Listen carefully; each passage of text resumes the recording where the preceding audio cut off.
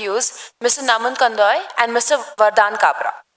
Mr. Naman Kandoi, Director of Mayoor School Jaipur, blends engineering prowess with a passion for education. With degrees from Purdue University and Imperial College London, he champions innovation and entrepreneurship in education. His leadership fosters academic excellence and embraces technology, creating a nurturing environment for student growth. Committed to educational transformation, he inspires accountability and collaboration for a brighter future. Joining him is Mr. Vardan Kabra, co-founder of Fountainhead School in Surat and author of Reimagining Indian Education. His visionary philosophy of education for tomorrow promises a new era in education, reflecting the true essence of his name. They are here today to talk to us on the topic of shaping tomorrow through skills, attitudes, and the power of liberal arts and sciences. Let us welcome them with a huge round of applause.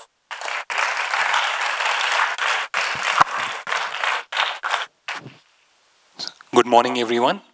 This is quite a daunting auditorium you have here.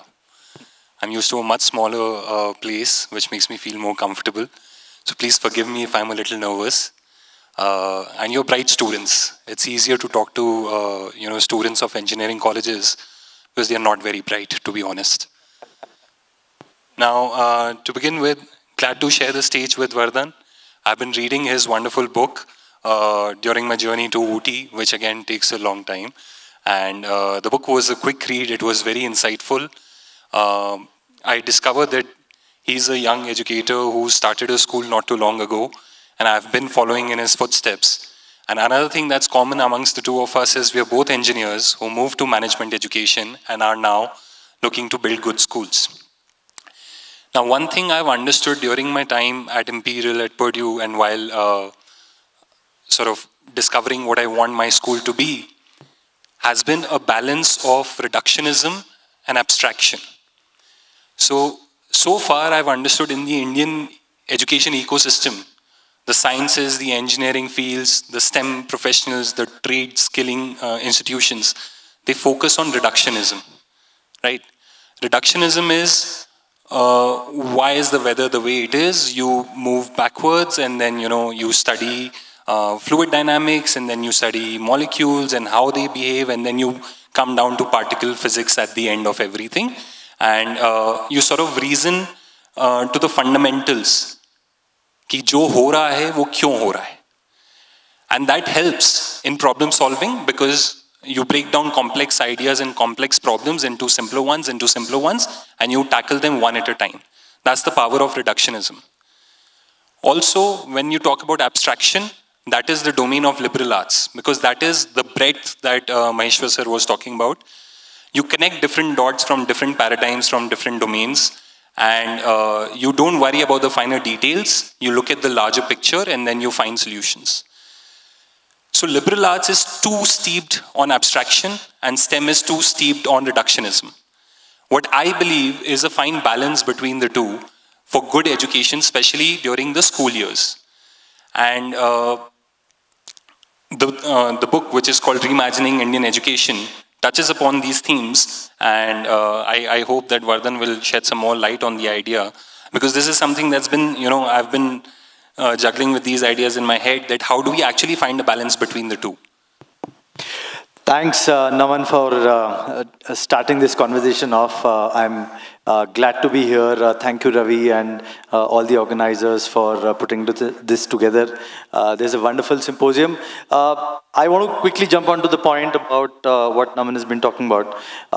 and I'll, I'll, I'll, talk about it from my own experience. so, like I think most students of my generation and maybe even today, if you are uh, in a typical uh, school coming from a middle class family and you're doing well in studies, you end up going to uh, do go on do engineering. That's typically the case that happens. Um, I did go on to do engineering uh, uh, at IIT Bombay. But I think within the first six months, I realized that engineering is not something I want to do.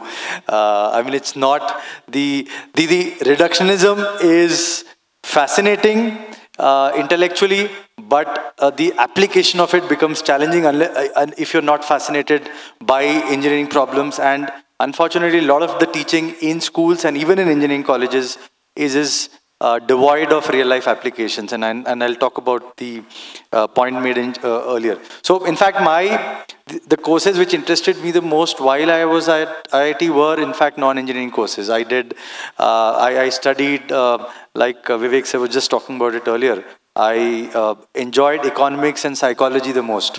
And, and there you have to take some courses. It's not as liberal as I would prefer it to be, but uh, there are some courses which you, you're allowed to take beyond the, uh, beyond the department that you're in. And I also did a uh, semi-management sort of a course uh, later on. So that was the ones which I found most interesting. So I completely resonate with your point that the balance needs to be uh, in undergraduate education. And I think the liberal arts uh, as a concept, uh, the liberal arts and sciences, if you want to call it that now, uh, is, is, is wonderful. I mean, moving towards that. Uh, let me ask your own understanding about, I mean, maybe ask you this question about how your transition from engineering to management to uh, setting up a school happened. And then, and you know, that's something that we can talk about. Great, thank you. So if I can share uh, a not so brief story, which uh, will make me come across as a horrible person, but uh, that will also tell you why failures in life are very important. And uh, then I'll connect the dots, you know, between engineering and the school today. So I was in grade nine at uh, the Doon School, which is a prestigious institution in itself, just like GSIS, but I faced imposter syndrome. I thought I did not belong there. And I just got lucky and got in. Uh, Dr. Saraswat was in fact my teacher at school when I was uh, when I was in grade nine. So uh, I wasn't good at sports like the young man over there. He played football. मुझे football और soccer एक ही चीज़ होती है ये नहीं पता. I came from a typical middle class Jaipur family. बढ़िया लोग हैं हम लोग को धंधा करना आता है हमको घर में बैठ के ना सास बहू के शोज़ देखते हैं दादी जी के साथ बैठ के and not much else okay so I didn't know who Michael Schumacher was bended like Beckham जब मूवी आई थी this was during school years मुझे ये समझ नहीं आया कि ये बेंड किसको करना चाह रहे हैं और ये बेकम कौन है। ठीक है so started with that but grade nine I was in good at sports so boxing में ज़्यादा बच्चे जा नहीं रहे थे ओब्रॉय हाउस से। So my sports captain is like listen you good for nothing why don't you get beaten up in the ring so I was relatively tall for my age so he thought कि कर लेगा। I train my self and I realise I am not too bad थोड़ा बहुत जो life का frustration है, वो punches में निकल जाता है। And I got to the inter house competition now they was suppose to be three bouts the first one the semi final in the final only in my weight category the first one I was lucky I got a walk over because there was no opponent who was as skinny and as tall as I was from the other house तो वो उस चक्कर के अंदर I got the walk over and I reach the semi final directly now there was a fearsome opponent he was one year my senior Uh, sir, if you remember, there was this uh, boy called Joshi, jo tabla bajata tha, Joshi sir ka son. He was a strong boy, right? And uh, everybody looked up to him. And I was really scared of him because he was like how you presume athletes are built. And I just got lucky with the walkover and entered that ring with him. Two days before the bout was to take place, he met me outside the school hospital and he said, Naman, listen, I have a deal for you. I said, What? And he said, I won't go too hard on you if you concede right now. And I was taken aback. School life parents had not prepared me for a decision like this. And I was, what, 14, 15 years old.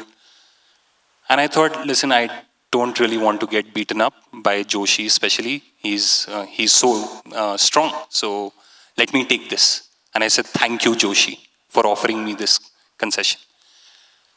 And that happened. Then I was in the ring. तो बहुत मार खाई I was like but his punches were not hurting me and I realize यार मैंने गलत deal ले ली। I didn't have to you know compromise on my morality और my ethics मैंने कहा अब जो हो गया हो गया। पापा ने ये ज़रूर सिखाया है कि कीप योर वर्ड तो बाउट तो हारना है लेकिन हारने से पहले एक बार तो बहुत तेज मारूँगा। And I punch him hard and the whole you know we have the Rose Rose which is an open open amphitheater. I could hear everybody go, oh. कि इसने जोशी को मार दिया अब तो ये गया and after that I was also able to defend my self well because bout तो मुझे हारना था the first two round I had taken enough shorts on my face to to be sure कि I am I keep my word and I lose this and I did lose that But afterwards, I felt cheap. I felt disgusted with myself. Ki, what did I just do? And, uh, you know, I come from a background of technocrats and industrialists, and we are into manufacturing. So STEM people, you know, we chase objectives, we chase revenues from the banya blood that I have. तो ये सब चीज़ें किसी ने सिखाई नहीं थी But then I reflected. Reflection becomes so important, which is why liberal arts is so important. Reflection helped me realize yeah, I didn't have to do this. And I should never do this again. And I should always be true to myself. And that day in grade 9, I promised myself I'll never place a bet against myself. And that has got me so far. Starting with engineering. I IIT JEE की कहानी है। हर बच्चे को चाहिए होता है हर parent को चाहिए होता है कि बच्चा IIT बॉम्बे से पढ़े। You would been the ideal son to my dad but uh, unfortunately for me, I scored a wonderful total score of minus 11 on that exam. तो क्या ये चीज़ें पेरेंट्स को कोई नहीं सिखाता पापा ने ये कहा था बेटा if you don't crack JEE I send you to US so guess what happened I went to US to study so that minus eleven was in so innocent after all वहाँ जाकर I studied mechanical engineering because we are into manufacturing and I really enjoyed it and after studying I realise I am not that great a student so let me complete my education quickly but I was good with examinations I did well on my GMAT got through Imperial College studied innovation management over there came back did a startup of selling panipuri sir को आज सुबह याद आ रही थी it reminded me of my first startup हम लोगों ने छः महीने में पचास लाख रुपये के गोलगप्पे बेचे। which was kind of nice, but people didn't understand the startup ecosystem back then. Burn rate क्या होती है लोग नहीं समझते थे पापा ने कहा बेटा it's been six months you've not turned a profit uh, profit why don't you do something else or join the family business so family business was manufacturing did that for four years really got to apply my mechanical engineering side my innovation management side. So I have deep respect for uh, making the right choices whenever they happen because formal education does help if you're in the right domain and if you studied the right thing for that domain. So don't, uh, don't take this for granted. Yes, you have the opportunity of switching out later on or experimenting with different subjects. But as long as you get the choices right sooner or later, those choices will help you do better and perform better in your journey, in your career, in your personal lives. Uh, that brought me to the school. Um, engineering education, um, we run an engineering college. Wahapar students did not actually want to be engineers. There was complete apathy towards learning. And it reminded me of my grade 9 in Doon. You know, these students were feeling they had wronged themselves. And I couldn't help them at that stage beyond a point because they were in the program second year, third year, they had to complete it. So I realized I want to start a school where this is not accidental, this is not left to chance. And by design, we ensure that children learn to reflect. Children are empathetic, not just with others, but with their own emotions. Children uh, learn integrity, they learn the power of perseverance. So perseverance is one of my like core themes for, uh, for my school. That yes, passion will get you started, but perseverance in, in, in that, uh, in chasing that passion will get you to complete things and to achieve great heights. So uh, with that, the school has taken shape, and uh, it's just been one year, and you know, interacting with you know the likes of few other educators and speakers here is just broadening my horizon. I'm still a student. I'm still learning on what a school needs to be. So uh, you may not have questions for somebody like me, but I will catch some students outside the auditorium to ask them what schooling means to them and how would they design a school if they could because I'm still, I have the privilege of being in that moment and I would like to get your inputs. So uh, sorry for that long arc of a story, but uh, I hope that sort of uh, makes you connect with your story as an engineer, MBA student, and then a school owner. absolutely, I think it does. And uh, I mean, my motivation is not, I mean, it's not necessarily, of course, going to be the same as yours, but um, my own motivation was that I studied in 11 schools across India and abroad while I was growing up. I was not in one place, I was moving around all the time. Uh, and when I was getting, uh, I mean, and I was a good student uh, uh um, in terms of academic scores, but everywhere I was studying, I felt that, okay, I'm not really uh, learning or enjoying uh, something.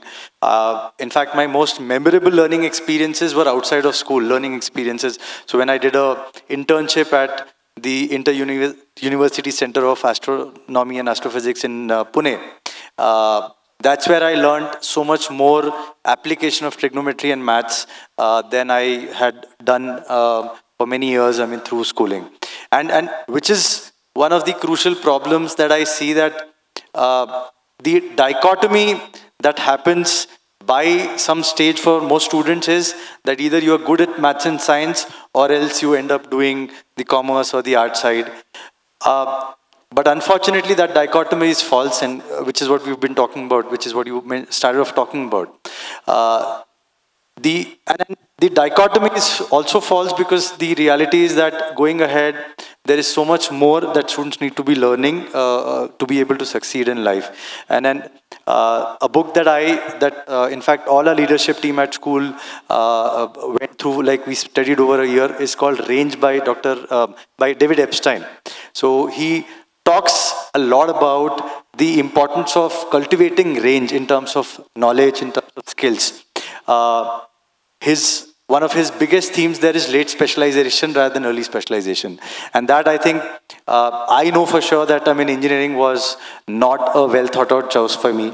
I did not at some point, I may have liked science and maths and hands-on activities, but by the time I was in like 11th and 12th, I was not enjoying that anymore. But I did enjoy a lot more of economics and psychology. Now, had I had the option of being able to explore a range of subjects uh, during my undergrad and then deciding on a major, even if it was engineering, uh, or at least towards the science side, I would have been, uh, I think, uh, much more happier academically.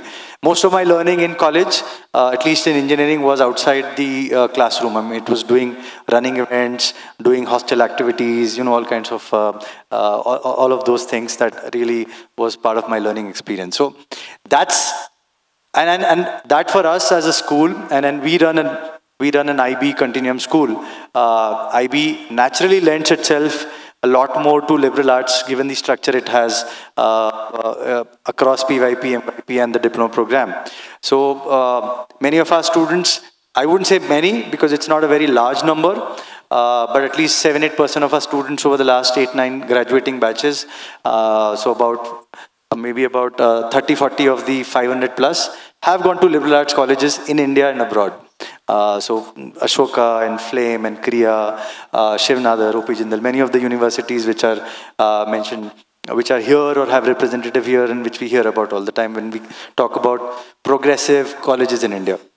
However, the issue still happens that the majority still is thinking uh, monochromatically. I mean, it's either uh, doing uh, a, a, a, hardcore engineering and in, in our case, because we're from Surat, it's a, uh, most of our uh, uh, parents come from business families, our business families, so uh, business management and finance is a big choice. Now, they don't, my, in my strong opinion, they should be doing a lot more liberal arts, not just, I mean, committing themselves to a narrow, uh, whether it is STEM or whether it is uh, narrow BCom or BBA sort of a degree.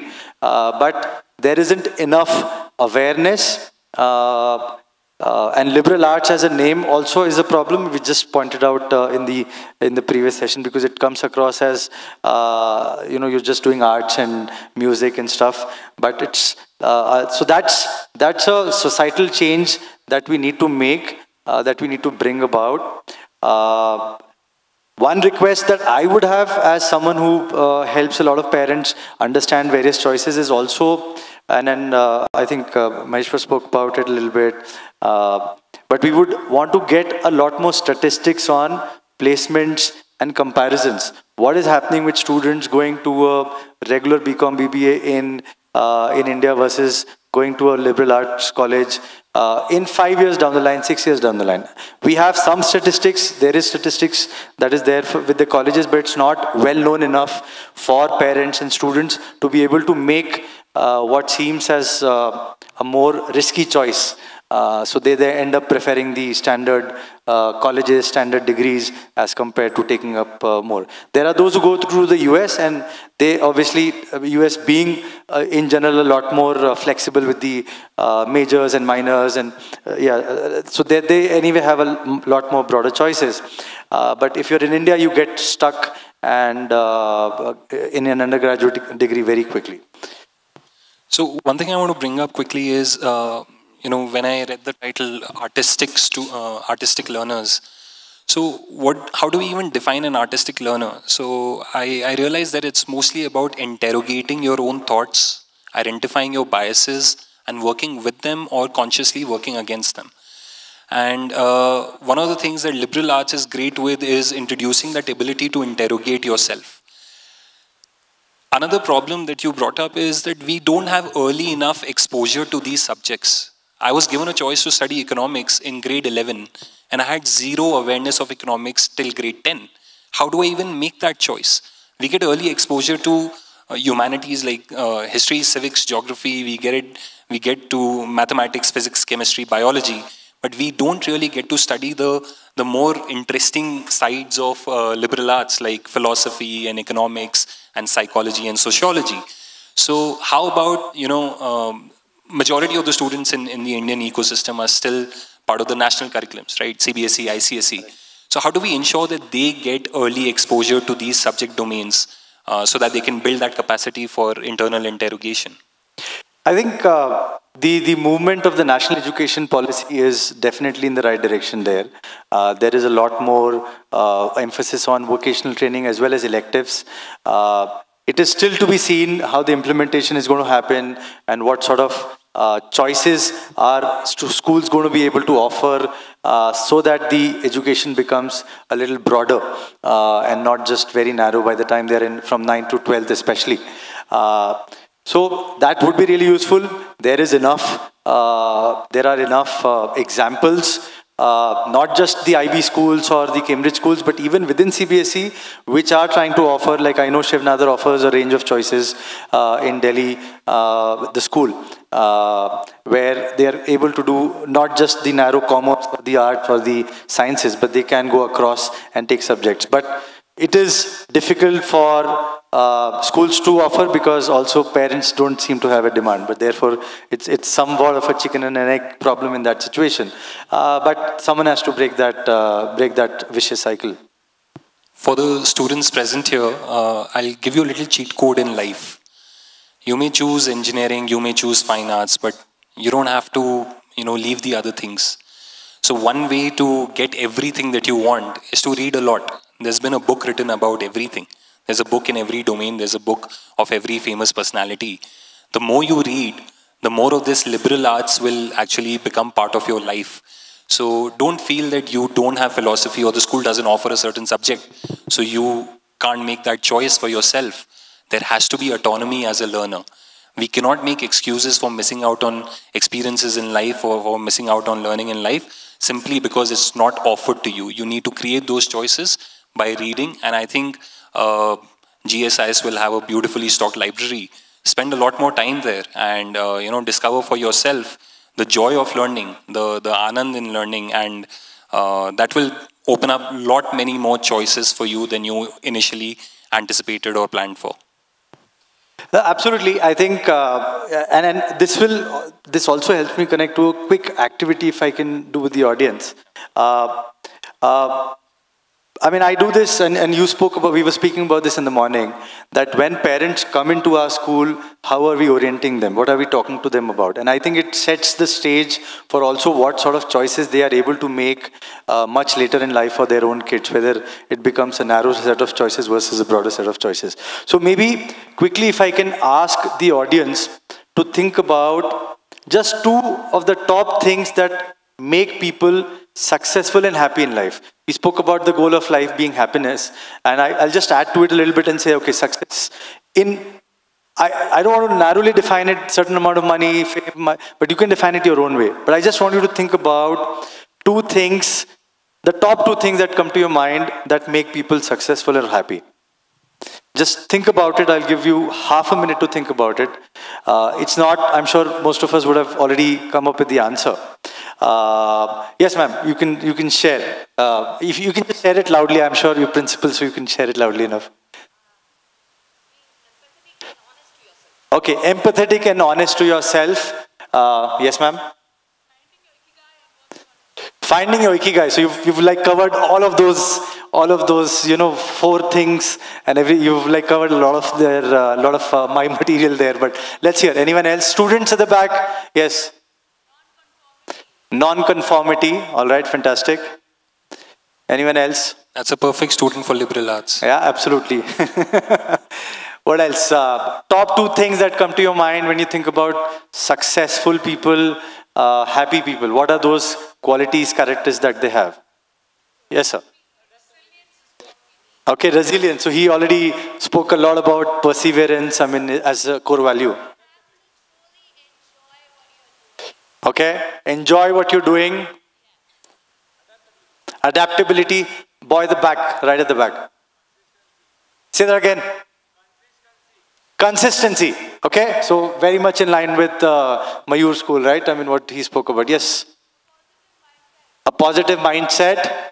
Yes. Dispassionate, passionate. I mean, not dis. Dispassionate. Okay, why, why do you want to be dispassionate? I mean, you want to be passionate and dispassionate about? Okay, okay. And I'll, okay, I mean, it's an interesting perspective. That's very interesting. it's an interesting perspective. Uh, but I will connect it to what David Epstein says in Range, that too much grit is also a problem because sometimes we don't know when, when to let go. And I know a lot of people who've stuck with uh, and, and uh, uh Vivek sir spoke about the UPSC uh, candidates. I mean, you don't know when to stop. I mean, uh, uh and the same happens with so many other, so many other areas. So I do agree with what you're saying. There were some hands here. Yes, ma'am. Passion and dedication. Okay. Yes, sir. Impacting people's lives. Okay. Impacting people's life. Absolutely. Fantastic. If I may add one finding meaning in what you do? Yeah, so finding, finding uh, I mean, impacting people's life, finding meaning in what you do, yes. Self-discipline, perfect, fantastic, which we, which we all struggle with. I know I struggle with it. I'm sure you struggle with it. That's why you're mentioning it. Yes. Humility, okay. uh, good salary makes you successful or Oh, it gives you happiness. Okay, okay.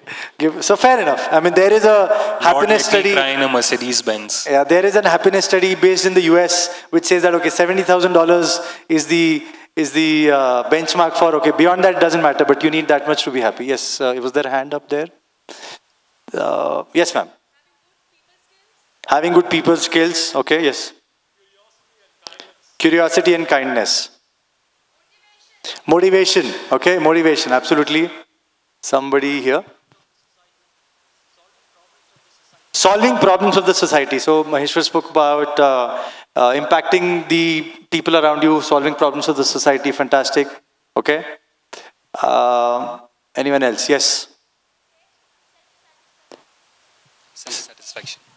Patience and self-satisfaction. Fantastic. Patience. Strong social support. Okay, fantastic. All right. Uh, Yes. Unconventional. So someone said uh, non-conformity, right? I think that uh, the, the girl in the fr uh, front, yes, she said non-conformity. Okay, I will, I, I know some of these more answers might be left, but I want to say that there is something which is important, which is missing. There is something which is important, which has not yet been uh, spoken about. Okay, right attitude. Learning from real life experiences, sir. Introspection, okay, he spoke a lot. I mean, in reflection is something he spoke about in his own story, yes, sir. Creativity, yes, sir.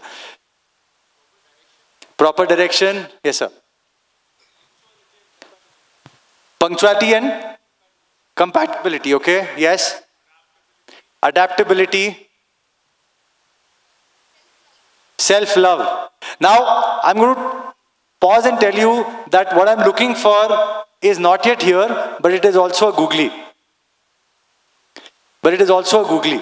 So you're not going to get it unless you think slightly out of the box, slightly, I mean, uh, why I'm looking for this answer. And I do this with parents, remember this. Uh, I do this with all parents at the beginning of uh, when they come in for an admission orientation. So let's see if I'll give three more chances and then I'll uh, sort of uh, maybe if you know the answer, you can hold on, hold on. I read the book this morning. You went to, so that's what I'm saying. You probably know the answer, so maybe you can talk about it. Yes. Entrepreneurship skills, fantastic, but not what I'm looking for. Confidence. Um, I'm assuming manifestation of your ideas, thoughts, dreams, okay? Yes, ability to do that. Absolutely fantastic. Exploration, innovation. Um, okay. Now, I'm going to give the answer. It's going to be going to sound very, but it's also going to be important in this context.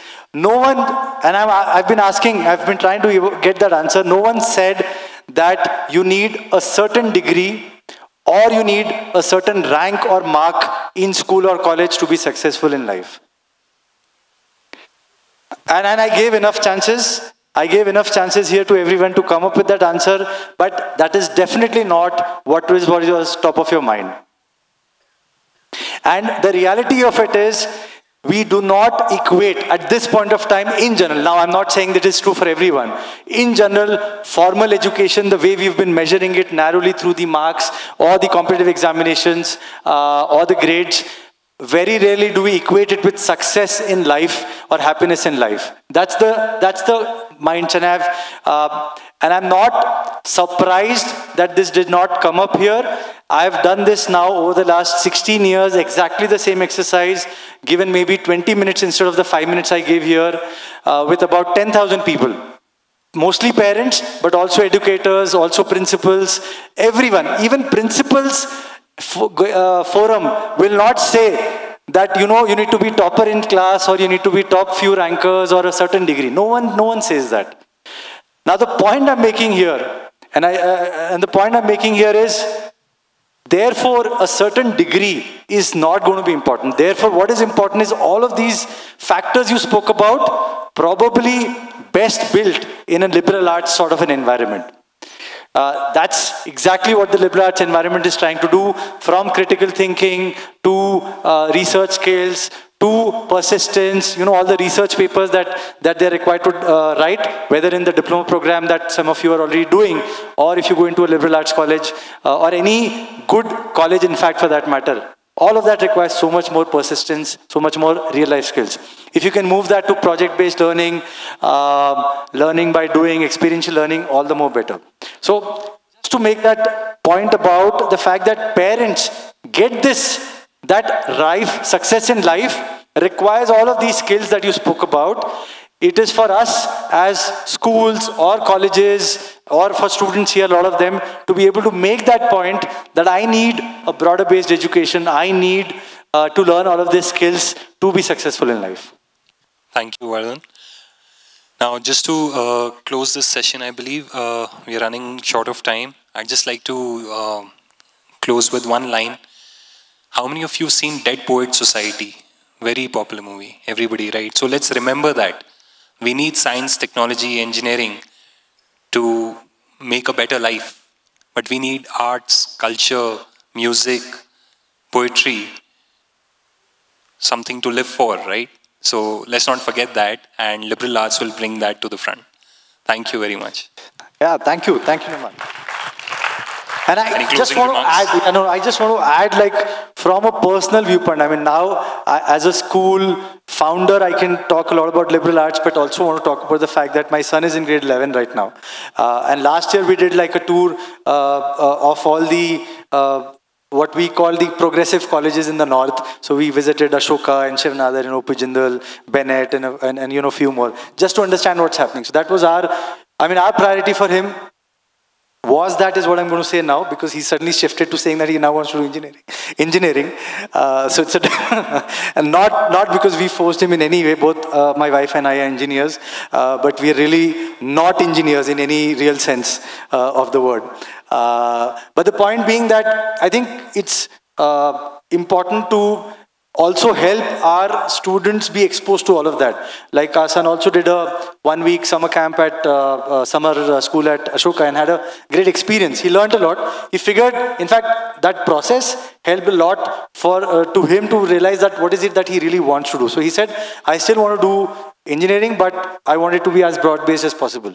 So that helps him. So we're trying to now figure out now Indian options are very limited, as we know for engineering, if it has to be broad-based and uh, more liberal arts. So now the options in India are limited and something which if uh, university people here can support. And I know there are uh, norms and restrictions around that, but I think a lot is being done in that area and can be done a lot more. Thank you. Thank you for great chat. Thank you. Thank you for being a wonderful audience. And uh, thank you, ScooNews, GSIS, uh, for giving us this platform to share our views.